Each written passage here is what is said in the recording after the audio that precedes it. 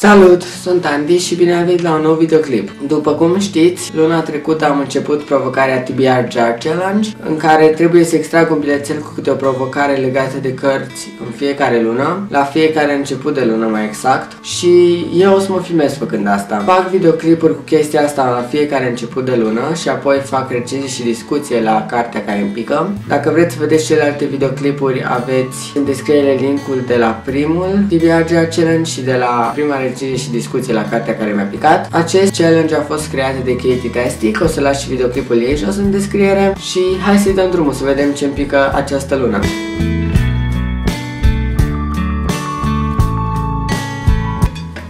Ok.